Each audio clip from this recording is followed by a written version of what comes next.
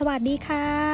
ยินดีต้อนรับเพื่อนๆทุกคนนะคะ เข้าสู่ช่องของขวานสกอตคลายค่ะ วันนี้เราอยู่กันที่นิวยอร์กก็ค่อนข้างหนาวนะคะ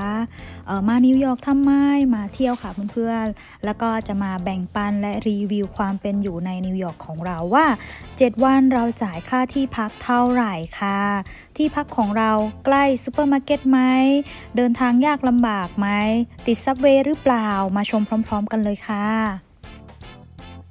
จากที่เพื่อนๆเห็นนะคะ เราได้เดินออกจาก subway มาค่ะ เพราะว่าเราลงจากเครื่องมา ต่อรถไฟฟ้าใต้ดินค่ะ แล้วก็เดินขึ้นบันไดมาอีกชั้นหนึ่งก็จะมาเจอถนนแบบนี้ค่ะ โรงแรมของเรานะคะ อยู่เยื้องเซนต์แพทริกก็คือวิหารของนิวยอร์กค่ะ เดินไปเยื้องๆนะคะเพื่อนๆแล้วก็เห็นสี่แยกเลี้ยวขวาเข้าโรงแรมเราได้เลย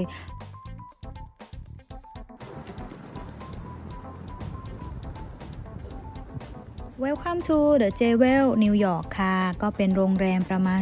14-15 ชั้นค่ะ เพื่อนๆ อยู่ใจกลางนิวยอร์ก เข้าไปดูด้านในกันค่ะ ในห้องของเราว่าจะน่าอยู่หรือเปล่า ตามกันมาเลยค่ะ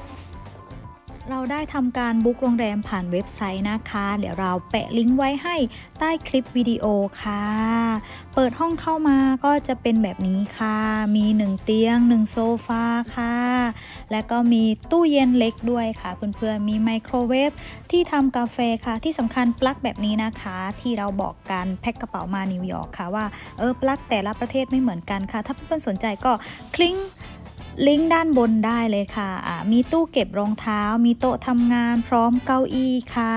มีกระจกบานใหญ่ให้สาวๆ ได้เซลฟี่แบบนี้ด้วยนะคะ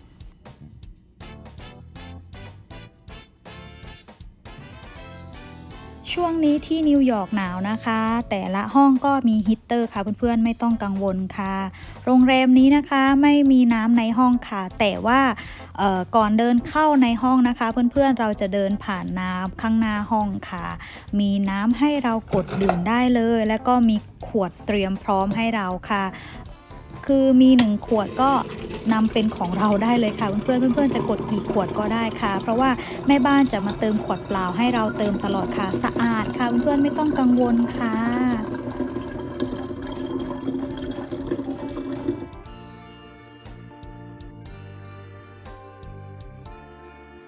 โรงแรม The Jewel นิวยอร์กนะคะ ก็มีฟิตเนสด้วยค่ะ เดี๋ยวเราพาไปชม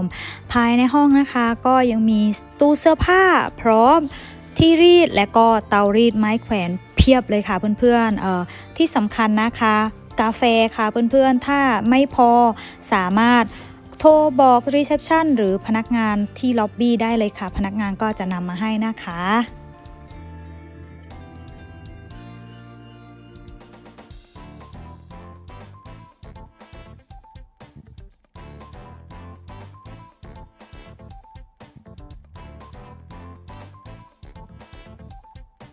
มาดูในส่วนของห้องน้ำกันบ้างค่ะ ไม่เล็กไม่ใหญ่ค่ะ ดูสะอาดตา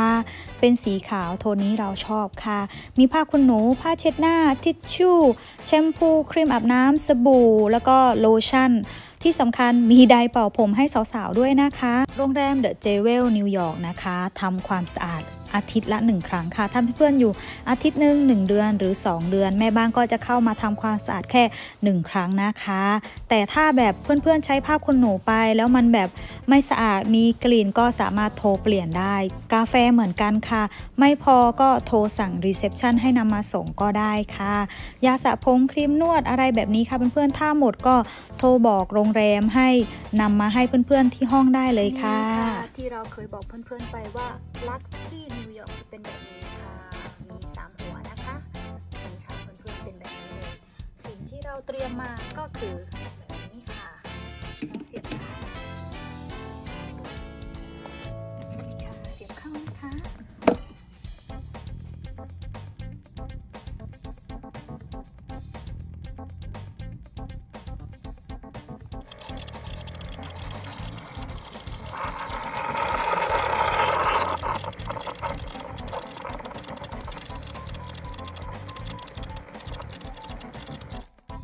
ชวนทุกคนออกมาซูเปอร์มาร์เก็ตข้างโรงแรมกันบ้างค่ะ ออกมาจากโรงแรมนะคะ เลี้ยวขวาค่ะ เดินมาประมาณ 29 ก็จะเจอซูเปอร์มาร์เก็ตในนี้ค่ะเพื่อนๆจำชื่อไม่ได้ว่าซูเปอร์มาร์เก็ตอะไร แต่เพื่อนๆต้องเลี้ยวขวานะคะ ในซูเปอร์มาร์เก็ตมีทุกอย่างเลยค่ะ ไม่ว่าจะเป็นขนมผลไม้นม ก็เหมือนซูเปอร์มาร์เก็ตทั่วไปค่ะ ราคาก็ยังไม่แพงมากเท่าไหร่ค่ะ มีขนมโยเกิร์ตคือ หิวค่ะเพื่อนๆเดินทางมาเหนื่อยๆต้องซื้อเข้าห้องค่ะ เพราะว่าเราอยู่ในห้องนาน ซื้อตุนไว้ก็ดีค่ะ จะได้ไม่ต้องมาซื้อหลายรอบค่ะ สะดวกสบายใกล้ซูเปอร์มาร์เก็ตด้วยค่ะ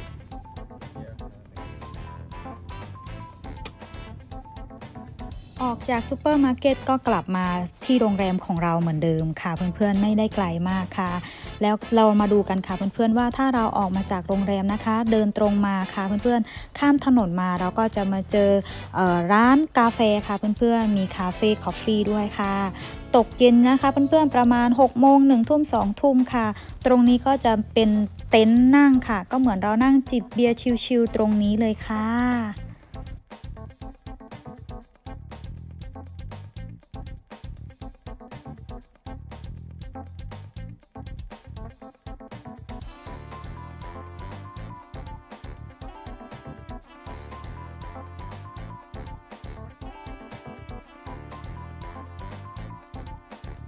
เดี๋ยวเรามาดูห้องฟิตเนสใน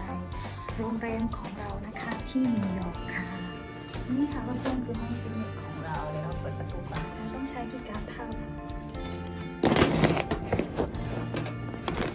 วก็เปิดจ้า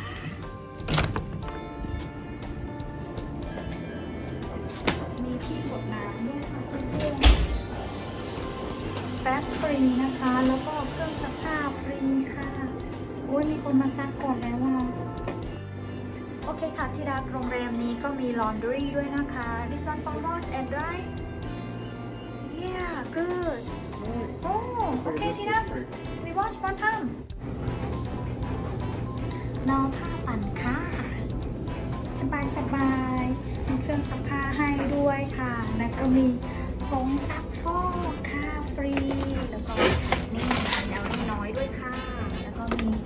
ใส่สำหรับซักผ้าค่ะเพื่อนๆแต่นี่เป็นตู้สำหรับหยอดนะเผื่อเพื่อนๆหิวค่ะ อันนี้น้ำแข็งฟรีนะคะ ในฟิตเนสก็จะมีน้ำแข็งฟรีน้ำฟรีด้วยค่ะอู้น่ารักจังเลยนิวยอร์กนี่ค่ะเพื่อนๆก็คือห้องยิมของเรานะคะในกึ่งคอนโดกึ่งโรงแรมในนิวยอร์กของเราค่ะ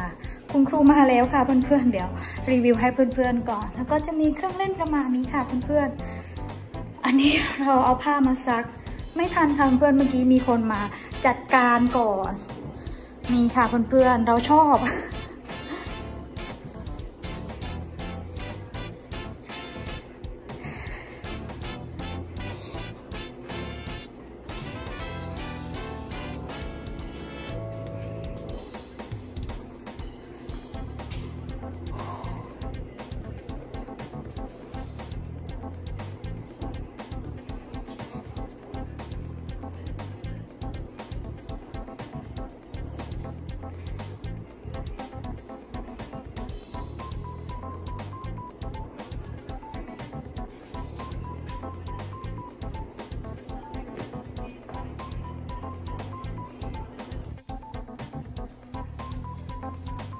เดี๋ยวขออนุญาตออกกำลังกายในระหว่างรอการปั่นผ้าของคนอื่นนะคะ เดี๋ยวเราก็จะได้ใส่เสื้อผ้าของเราไปซักบ้างค่ะ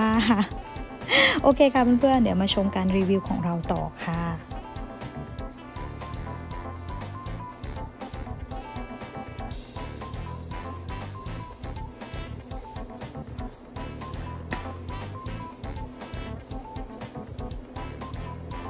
มาซักเสื้อผ้ากันค่ะเพื่ออันนี้แฟบนะคะ ให้เพื่อนๆใส่ไปเลยค่ะ ทั้ง 1 กล่องเพราะว่ามันนิดเดียวเองค่ะเพื่อนๆไม่ได้เยอะอะไรค่ะ อันนี้ก็เป็นเครื่องซักผ้า LG นะคะ ให้เพื่อนๆกดสตาร์ทกดค้างไว้ประมาณ 3 วิค่ะ น้องก็จะสตาร์ททำงาน ถ้าเพื่อนๆปั่นเสร็จแล้วนะคะ ก็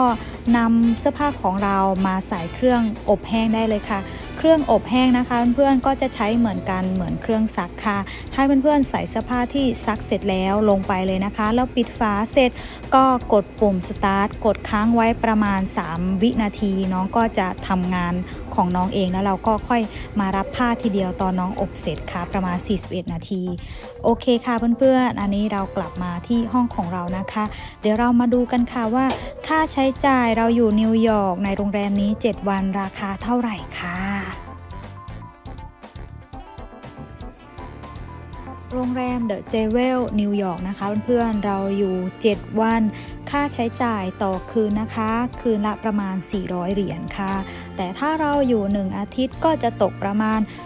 2,800 เหรียญใช่ไหมคะคิดเป็นเงินไทยค่ะเพื่อนๆ เราเอามาคูณ 32 ก็จะตกอยู่ที่ประมาณ 89,600 บาทค่ะ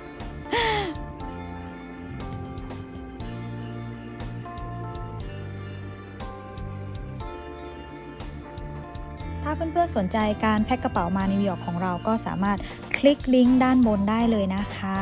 เพื่อนๆคิดว่าเออถ้าเพื่อนๆอยู่ 1 เดือนจะจ่ายเท่าไหร่แต่เราคิดว่าโรงแรมที่เราอยู่ราคาก็ไม่ได้แรงมากมายอะไรค่ะ ห้องก็พอดีอยู่ค่ะ The j e w e l นิวยอร์กก็เป็นอีกหนึ่งโรงแรมที่น่าสนใจในนิวยอร์กนะคะ ถ้าเพื่อนๆเข้ามาพักหรือมาเที่ยวที่นิวยอร์กค่ะ เพราะว่าน้องใกล้ subway ซูเปอร์มาร์เก็ตแล้วก็ร้าน coffee shop หรือไม่ก็จะเป็นคาเฟ่นั่นเองค่ะ โอเคค่ะเพื่อนๆ อย่าลืมกดติดตามช่องเราไว้นะคะ จะได้ไม่พลาดวิดีโอต่อไปค่ะ วันนี้ต้องขอลาไปก่อนนะคะ แล้วพบกันใหม่ บ๊ายบาย